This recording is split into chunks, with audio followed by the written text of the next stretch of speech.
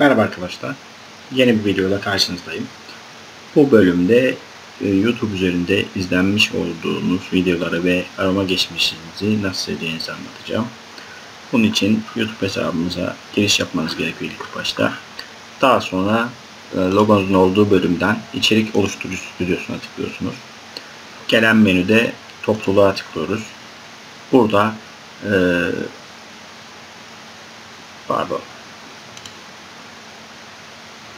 video yöneticisine tıklıyoruz. Buradan arama geçmişi menüsüne geliyoruz. Daha önce e, arama geçmişini e, de neler aradıysak burada hepsini listeliyor.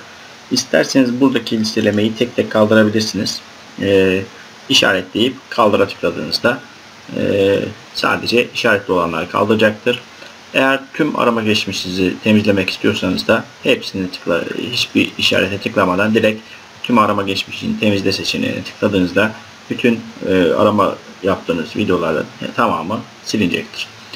Eğer bu arama geçmişle ilgili aradığınız videoların kayıt altına alınmasını istemiyorsanız da arama geçmişinin durakla seçeneğini işaretlediğinizde artık bundan sonraki yapmış olduğunuz aramalar e, duraklatılacak ve e, kayıt altına alınmayacak. Videomu burada sonlandırıyorum. Bir sonraki videoda görüşmek üzere. Hoşçakalın.